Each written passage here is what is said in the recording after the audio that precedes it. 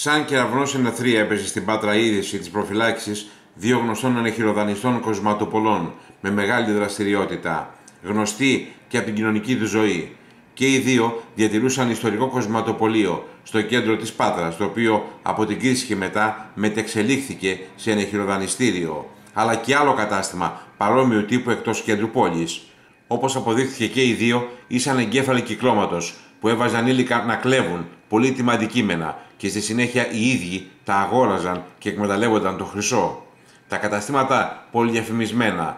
Μάλιστα η γυναίκα, αν και 45 θεωρείται από τις πιο όμορφες στην Πάτρα και πιο εντυπωσιακές. Κοκέτα τη χαρακτήριζαν.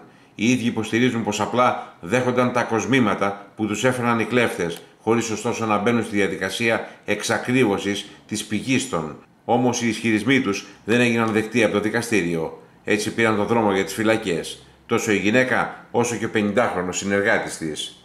Σύμφωνα με την ανακοίνωση της αστυνομίας, τα τέσσερα μέλη της πύρα που είχαν συλληφθεί για διάπραξη 25 κλοπών στην Αυπαχτία μετά την απολογία τους στον ανακριτή Μεσολογίου κρίθηκαν προφυλακιστέοι. Δύο Έλληνες άνδρες ηλικία 40 και 26 ετών, οι οποίοι επέλεγαν τους στόχους και έβαζαν δύο ανήλικους 14 και 11 ετών να διαπράττουν κλοπές και τους δύο πατερνού υπεύθυνους χειροδανιστήριων, έναν άνδρα και μια γυναίκα ηλικίας 50 και 45 ετών αντίστοιχα.